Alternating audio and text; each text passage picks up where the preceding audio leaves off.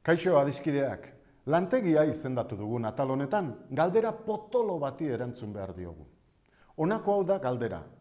Zer argazki kamera digital erosiko dut? Galdera horri erantzuteko, kontuan hartuta argazkilaritzaren merkatua etengabe aldatzen ari den arren, argazki kameren oinarrizko osagaiak ez direla aldatu, zazpia holku eta gomendio bat emango dizkizuet argazki kamera digital bat erosteko.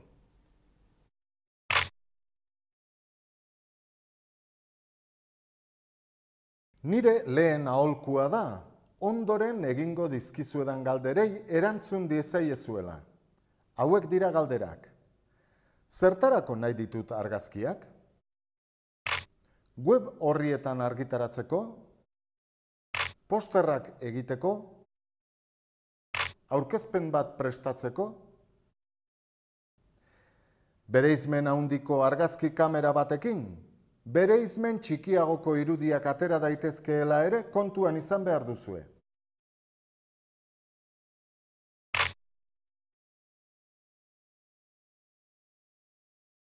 Objektiboa da argazki digitalen kalitatean zerikusi zuzena duen beste elementu bat. Haren ezaugarri nagusiak foku luzera eta irekidura dira. Foku luzerak zenbateko zuma egin dezakeen adierazten digu. Eta irekidurari buruz, gogoratu irekidura zenbat eta handiagoa den. Hau da, objektiboaren F zenbakia zenbat eta txikiagoa den, orduan eta argi gehiago jaso ahal izango duela. Eta ondorioz, argi gutxiago beharko dugu argazki onak egiteko.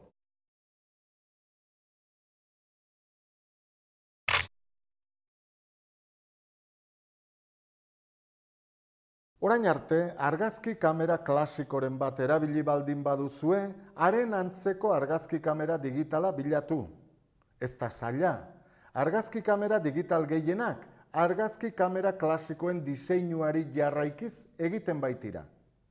Badira ordea, kontuan izan behar dituzuen hainbat ezaugarri.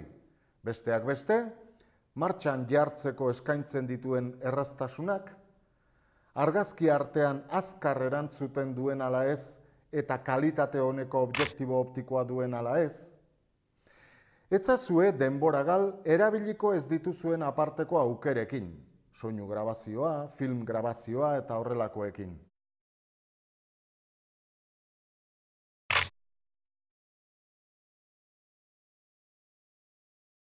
Azter itzazue argazki kameraren menuak eta behar adina denbora hartu dendariaren azalpenak adi-adi entzuteko. Menuak intuitiboak eta erabilerrazak izan behar dute.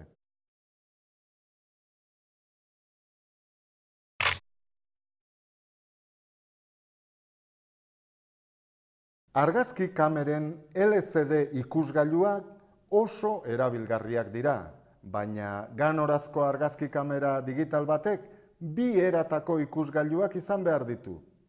LCD pantailatxoa eta ikusgailu okularra.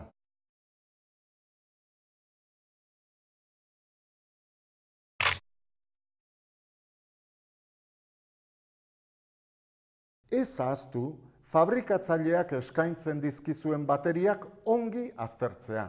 Ziur aski, haiez gain beste bateria batzuk ere erosi beharko dituzue, lehen argazki saioan barregarri ez gelditzeko.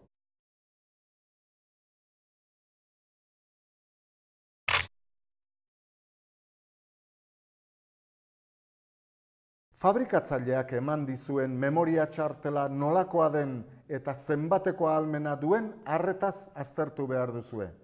Ziur aski, ahalmen txikiena duen txartela salduko dizue. Horregatik, beste bat erostea komeni zaizue. Nik gomendatuko dizuet, gutxienez, berreun da berrogeta amasei megabaiteko txartela eros dezazuen. Ahalmen handiagokoa bada, hobe.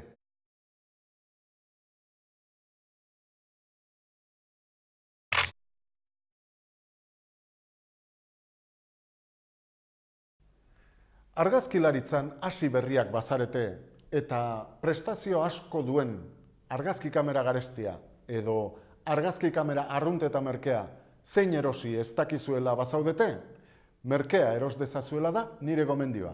Zergatik? Ba, gaurko argazki kamera digital arrunten maila aski altua delako, argazkiak egiten ikasi nahi duzuen ontzat.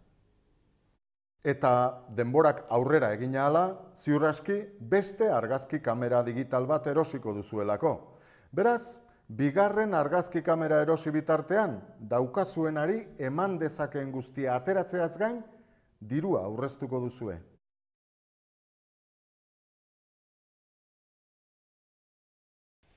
Hori etxe dira ba, kontuan hartu behar dituzuen oharrak, argazki kamera digital bat erosteko orduan. Ea lagungarriak izaten zaizkizuen eta gustuko argazki kamera digitala erosten duzuen. Aio,